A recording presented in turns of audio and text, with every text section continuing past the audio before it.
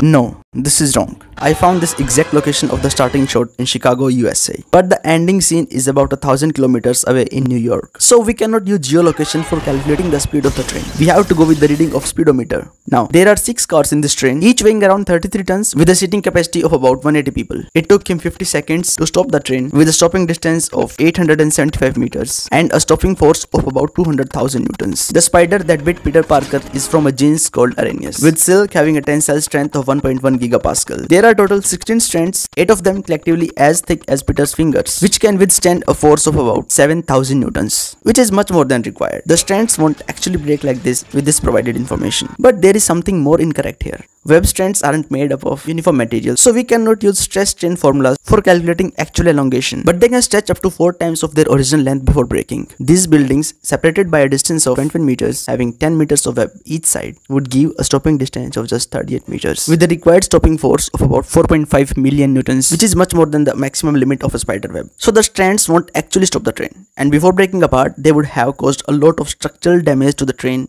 and a lot of deaths because the train's body isn't built to bear such enormous pressure.